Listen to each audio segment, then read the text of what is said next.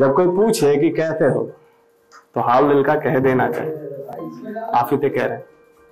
जब कोई पूछे कि कैसे हो तो हाल दिल का कह देना चाहिए, क्योंकि झूठी मुस्कान का बोझ आंसुओं से कहीं ज़्यादा होता। है तो जब कोई पूछे कि कैसे हो तो हाल दिल का कह देना चाहिए। तो चलिए, सफ़र की शुरुआत करते हैं। पहले उलझन की, फिर सुलझन की बात करते हैं। जो लोग हमें पहले छोड़ के चले जाते हैं, उनकी बात करते हैं। फिर कुछ अलग बात करते हैं। कुछ मेरी कुछ आपकी बात करते हैं। बस यूँ। जब तोड़ना ही था दिल को तो कुछ पल के लिए सवारा ही क्यों था? बताओ। जब तोड़ना जब तोड़ना ही था दिल को तो कुछ पल के लिए सवारा ही क्यों था? जब रिश्ते में आने का फैसला हमारा था हम दोनों। जब रिश्ते में आने का फैसला हमारा था तो जाने का सिर्फ़ तुम्हारा क्यों था? तोड़ना ही था दिल को तो कुछ पल के लिए। सवारा ही क्यों था? मतलब कुछ लोग ना लाइफ में बड़े शाने होते हैं। उनका काम निकलते ही लाइफ से चले जाते हैं। It doesn't matter how you love him उनको कोई फ़र्क नहीं पड़ता। तो बस इसी बात को अब आगे बढ़ाते हैं।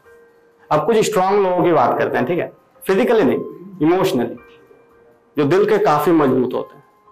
आप लोगों ने ये नोटिस किया होगा कि किसी भी इंसान पे बहुत कुछ बीत जाता है पर फिर भी वो इंसान अंदर से बहुत स्ट्रांग होता है, रोता ही नहीं है। बिल्कुल हार्टलेस दिल पर ऐसा नहीं होता, पता है? उस इंसान ने अपने लाइफ में ऐसा कुछ देखा है, ऐसे कड़वे एक्सपीरियंसेस को सहा है इसको हम और आप सोच भी नहीं सकते। तो उसी पे कुछ ये बात।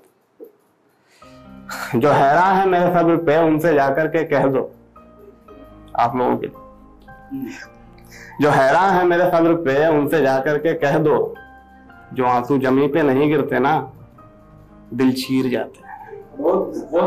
दिल चीर जाते हैं। वैसे, इस यूथ जनरेशन में दो ही चीज़ें होती है। या तो प्यार होता है, या तो फिर पढ़ाई होती है। पर हम लोगों के लिए ये दोनों कॉम्बिनेशन में होता है। तो अब कुछ उसी पे बात करते हैं, ठीक है? अब कुछ पहली मुलाकात की बात करते हैं। लाइफ में दो ही चीज़ें याद रहती है जनरली एक तो पहला प्यार, और दूसरी पहली मुलाकात। तब कुछ पहली मुलाकात की बात करते हैं। कुछ मेरी, कुछ आपके बीते लम्हों की बात करते हैं। यूँ। वो पहली मुलाकात भी क्या मुलाकात थी? वो अपने रुल्फों को संभालती रह गई और हम अपने दिल को। पहली मुलाकात। तो एक किसी इंसान को थोड़े से डिस्टेंस का साथ देखते हैं तो उससे ज़्यादा देख पाते हैं। ठीक है? बस ऐसा समझ लीजिए, जब आप किसी भी इंसान से थोड़ा दूर होते हैं, फिर भी दिल के वो काफ़ी करीब होता है। होता है ना? पर ऐसा समझ लीजिए कि वो इंसान, ये ये आपकी आँखें। आप किसी भी इंसान को इतना करीब रख कर देखोगे तो नहीं देख पाओगे। तो लेके डिस्टेंस उससे हाथों की लकीरें तो दिखेंगे ही। रात में उलझन भी दिखेगा और सुलझन थोड़ा सा लॉजिक ऐसा कुछ। दूसरी बात पे ये बात। जितना दूर रह के तुम्हें जाना है, उतने ही करीब से तुम्हें पहचाना है। आप ही तो कह जितना दूर रह के तुम्हें जाना है, उतने ही करीब से तुम्हें पहचाना है। बॉटम लाइन बिल्कुल क्लियर है।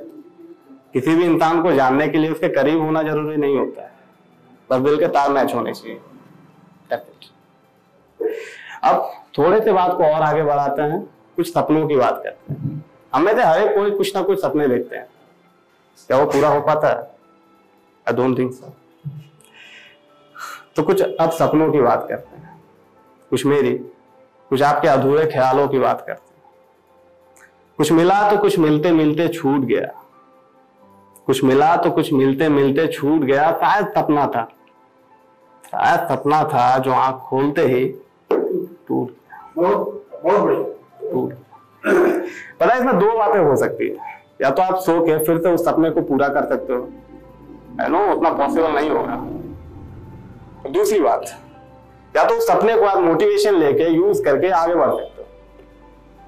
योर चॉइस अब कुछ कंक्लूजन पे आते हैं, ठीक है? जब कोई पूछे कि कैसे हो तो हाल लगा कह देना चाहिए। पर सवाल तो ये भी है ना, किसे बताएँ?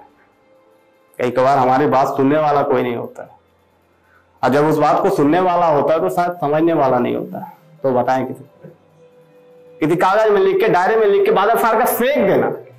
पर बता देना ओवरऑल बात यहाँ पे निकलनी चाहिए। ठीक है? अब जो दूसरी बात, दिल ही तो टूटा है। तो क्या हुआ? ज़िंदगी से एक इंसान ही तो छूटा है तो क्या हुआ? ज़िंदगी में हमें कभी ना कभी अच्छे लम्हे तो मिला ही है ना तो बस उनको याद कर, कुछ नया कर, और लाइफ में आगे बढ़। इट अब कुछ लास्ट कवियों के बारे में बात करते हैं। जनरली यहाँ पे सभी लिखते हैं, ठीक है? कोई पोएट है, कोई राइटर है तो कोई फ्यूचर का बड़ा बड़ा आर्टिस्ट है। सही बात है? तो कुछ आप लोगों के लिए लास्ट तो रातों को जागने से और लफ्ज, कागज़ पर उतारने से महबूब लौटा नहीं करते थे। लौटा नहीं करते। और दसवीं, श्यामल दत्त शाइनिंग ऑफ़ पुनः थैंक यू